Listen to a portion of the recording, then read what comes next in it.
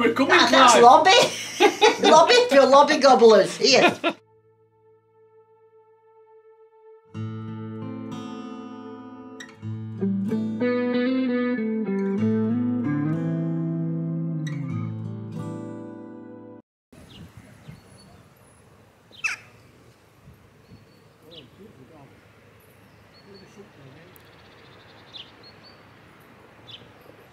Come on, Morgan.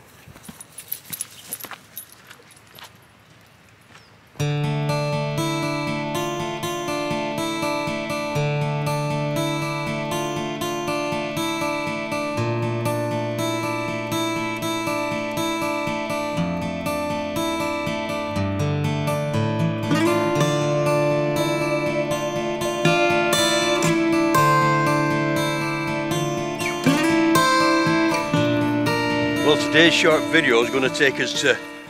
Well, we're in the vicinity of three ancient monuments from three different eras, three very different eras. And I'm certainly no expert on the first two eras. Here we are, this is Thirlwall Castle. How did it get its name? Thurl means hole, wall is Hadrian's Wall. It's hole in the wall castle, Thirlwall Castle. And it was built round about the year 1330, in the mid 1330s, by a guy that became known as John Thirlwall. And we're situated obviously in Northumberland, next to the River Tipalt, uh, on our way to Gilsland, but near the mining settlement of Longbyre. Now besides Thirlwall Castle, obviously, we've got the wall that comes through. and if you want to see the remains of the Roman wall here, look no further, because that's what went to build the castle. But what we've come to look at actually is a, a monument from a, another time period, an industrial age that's still standing and still just as important as far as I'm concerned. And that is just about a mile to our north there.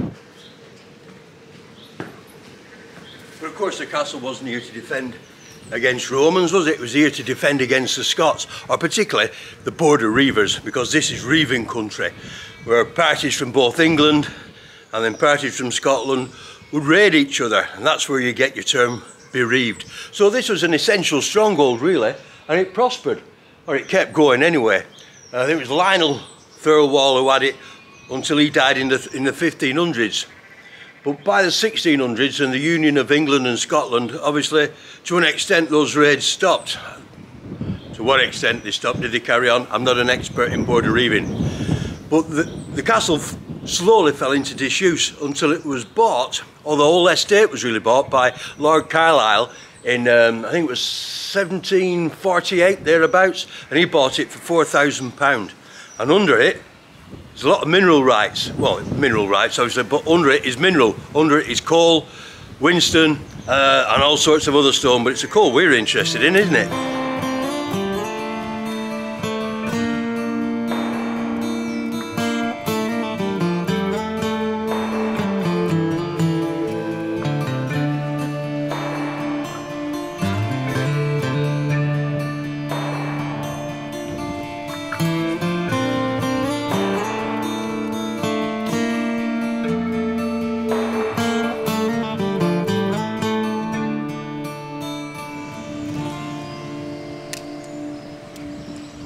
Left my window cleaning stuff in the van. What a mess.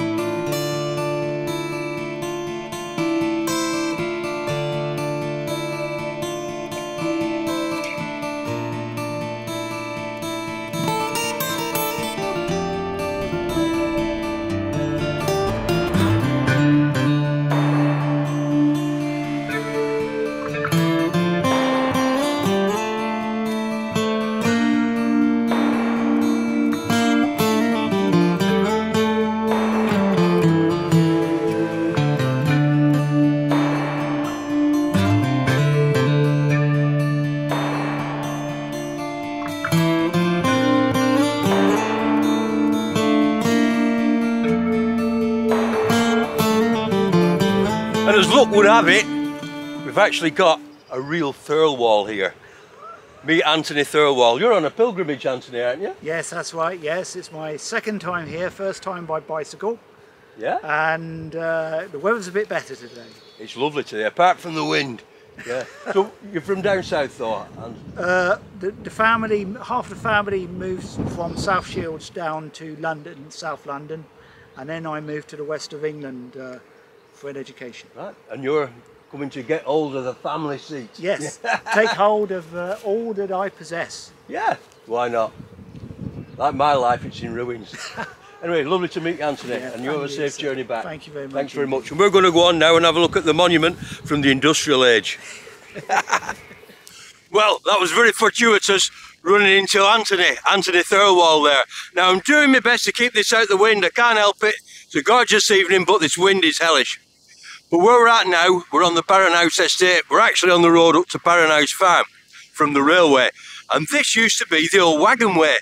Yeah, the road was here, but also there was a wagon way when Lord Carlisle opened up Barronhouse Colliery up there. Uh, now we're going to come back with Nick and Heb and do a more detailed survey, especially when there's no wind. I'll show you where the stays was, if I can find a sheltered spot, and we're going to have a look at this other ancient monument. So they'd driven Barronhouse Colliery really when they lost the Blenkinsop lease to try and keep all the trade in the area, but their workings must go back a lot further than that.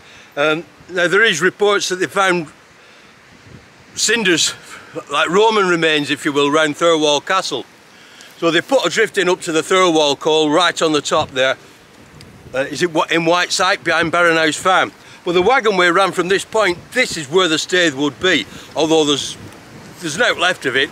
And then the later sidings from the later Thirlwall Company were here. Because Barronhouse just ran into the early early 40s, really 1840s. And then they came back 1899 thereabouts, I think. It was Clark's that decided to put him for a lease. Uh, but we'll go into that further. Well, this is where the sidings were. Now, behind me, you can see the building, the other ancient monument. And people for a while have said, well, that's part of the screening plant. But when you look on the maps, especially the, the 25 inch to the mile maps, and you see the layout of where the screening plant is, that building isn't on. What is on, on the 1920 survey, is a power station behind it. Now they built a power station, and then obviously they've built that.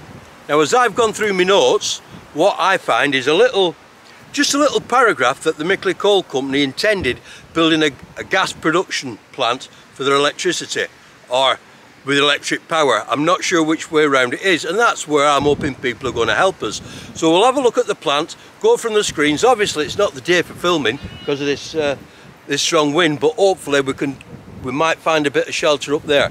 So it's an appeal for knowledge, of, uh, and perhaps somebody knows where the Mickley Coal Company archive is, if it even does exist.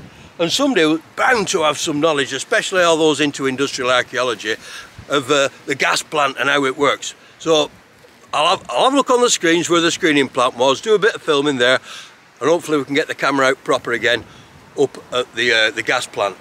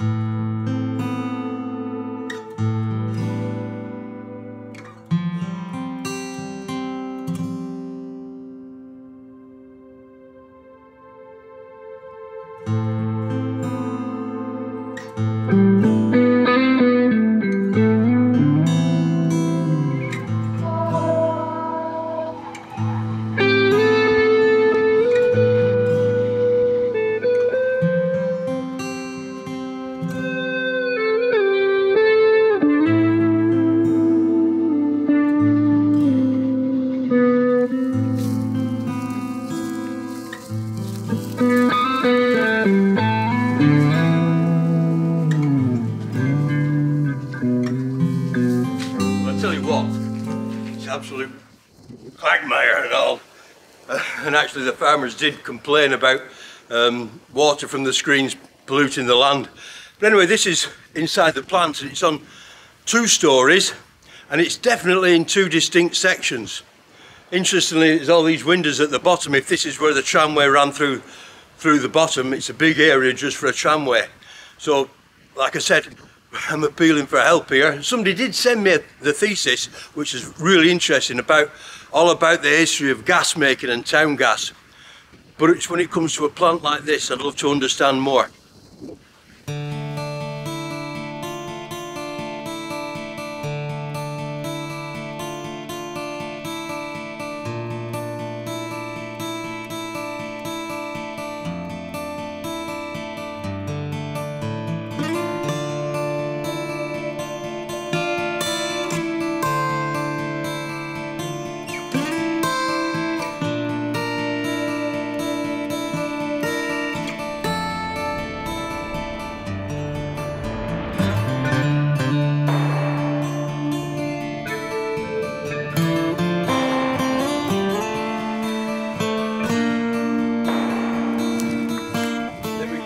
And it seems totally different. A different setup, bigger arches and some of the arches actually are made up. They've, um, they've bricked them up for a certain height. Why? You can certainly see, I'll point up the, the where the second story was up there actually.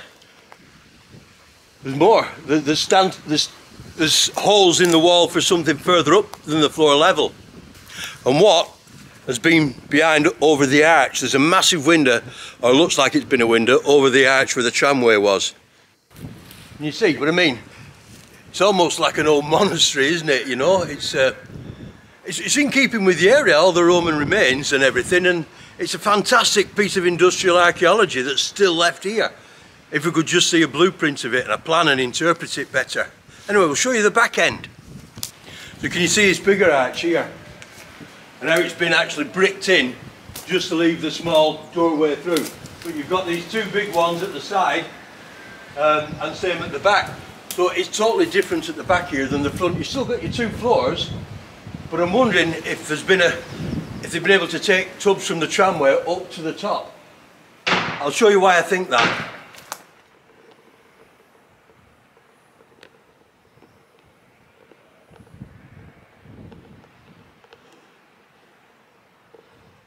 You can see the remains of these RSJs through the wall and I know this has this has been filled in quite a lot hasn't it you know with a with a muck over the years. But if we look back on the tramway we can see what was this a, a bridge coming up onto the first floor here? Let's have a look. You just see the remains of that there that's standing and you can see where the tramways come across at the top. But then again it could be something else. It may not. It may not be part of a of a bridge. But certainly that level from the tramway would take us up to where these um, RSJs are cut off on the side of the wall here.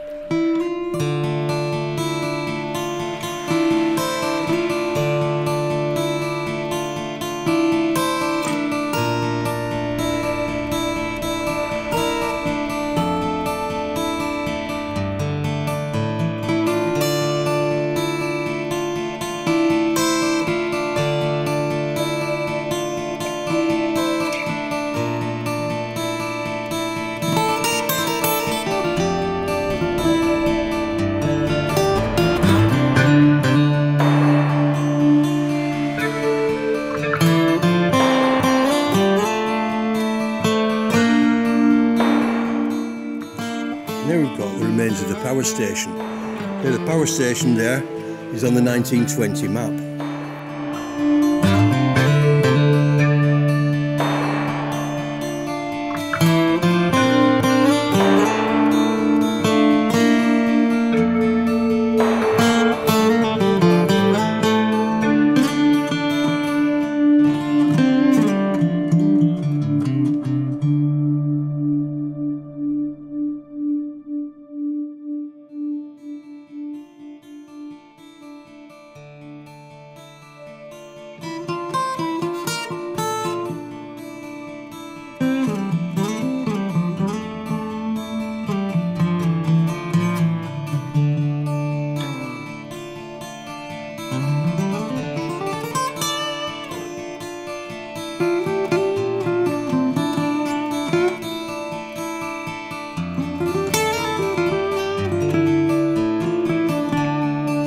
Well, that's just a quick look around. You see there's lots more to see. There's engine beds here. Is that a chimney behind us? The power station's off to that side. and there's a, an interesting hole on the other side as well. So say just a quick look round. You've seen the um, the plant now. If anybody has any uh, information, any ideas how it works, anything, however small, please let us know. And say me, Heb and uh, Nick, we're going to come back and have a good look at the tram, the wagon, the old wagon way, walk up the tramway and have a look at the pit proper as well, and do a proper video with that because we do have quite a bit of information about the pit. It was in several hands, pardon me, like I said, 1809, 1899 uh, thereabouts. It was the Clarks and a consortium from Haltwhistle who were then already in business as the Featherstone who'd taken over the, the old Coanwood colliery when the Coanwood Coal Company, Crowell and Wilson packed in. They took on the Coanwood Coal Company and they also took on the old Lambley colliery and they, another branch of them, well, they set up another company as the Naworth Coal Company, but they came here as well. Uh, and opened up further up from where Thompson and Lord Carlisle had been, right on the top, and constructed a new tramway up down to the staith here, which is just a little bit to the um, to the west of the, the old coal staith. And again, they were working the, the Thirlwall coal seam up there. And again, it didn't work out very well. They were sort of bust more or less. When I say bust, in financial difficulties and a new company took over in 1913. That didn't work out well and the Mickley Coal Company came back, uh, took it on and they were a good big company as far as I know and they couldn't make it pay neither. It made heavy losses. It always did. The Thirlwall call really, everybody seemed to struggle with it. Anyway, that train's signalling, ta -ra. So thanks for watching this little video. We'll catch you next time.